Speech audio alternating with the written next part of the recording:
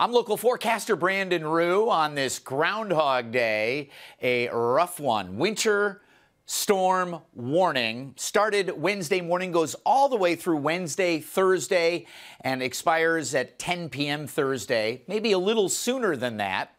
Here's the way it looks. Our rain switching over to snow here between 8 and 9 a.m., all snow. And then from 11 a.m. until about 4 or 5 p.m., that will be some of the heaviest, most consistent snow of a half an inch to an inch per hour. And we could have a half a foot on the ground by 4 or 5 p.m.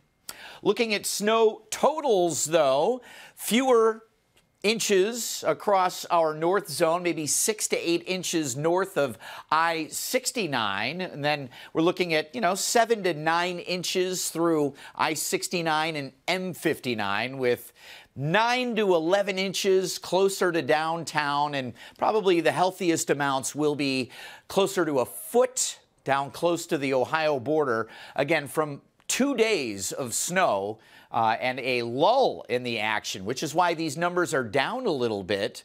Overnight, we're going to get some dry air, at least temporarily. So, seven inches to eight inches north, all the way to a foot in our south zone still seems to be about right for this two day snow event. And here's a look at the model that shows, again, some pretty healthy snow taking over by midnight, 1 a.m a dry slot. We dry things out a little bit, but we do have more snow moving in through the morning and afternoon on Thursday with a couple of inches more. Again, when all said and done, probably most of us below a foot of snow from both days, but uh, additional two, three inches tomorrow with snow and blowing snow Thursday. Much colder and wind chilly, dangerous cold Thursday, Friday, Saturday.